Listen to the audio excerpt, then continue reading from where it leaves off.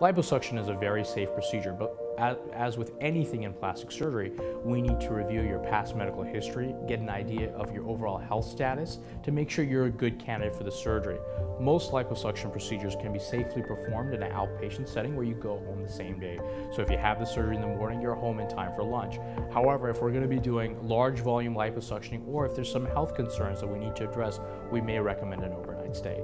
Liposuctioning is a very safe surgery, but of course all surgeries have certain risks. Some of the risks from liposuction include uh, contour irregularities, uh, bruising or bleeding, fluid collection, and sensory changes in the area of treatment.